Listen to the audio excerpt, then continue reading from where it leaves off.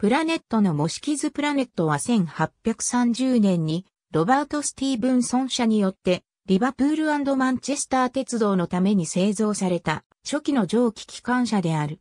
L&MR のために製造された9番目の機関車でロケット号の後、スティーブンソンの次の主流となる設計変更だった。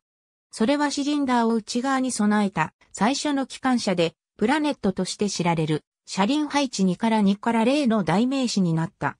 1830年11月23日にプラネット9号はリバプールからマンチェスターまでおよそ 50km を1時間で走行した。6両以上がロバート・スティーブンソン社へ L&MR によって発注された。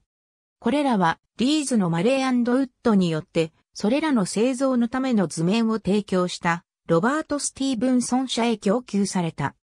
プラネットとパテンテーは大量に生産された最初の機関車の形式である。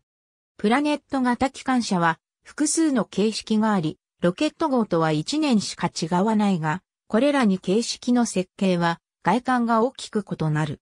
他の改良点には以下が含まれる。胴体レプリカが1992年にマンチェスター科学産業博物館の友の会によって製造され、ボランティアによって訪問者を乗せて運転された。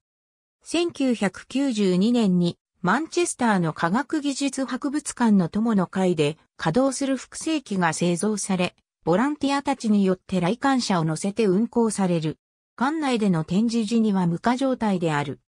プラネットはこれまで複数回にわたり、国立鉄道博物館、シルドン文館のような他の保存鉄道を訪問した。LMS ロイヤルスコット型蒸気機関車4から6から0機関車の6131号機は1928年の製造時の名称はプラネットだったが、1936年にロイヤルをオリックシャーレジメントに改名した。名前は1948年に LMS カイパトリオット型の45545号機に付けられた。ありがとうございます。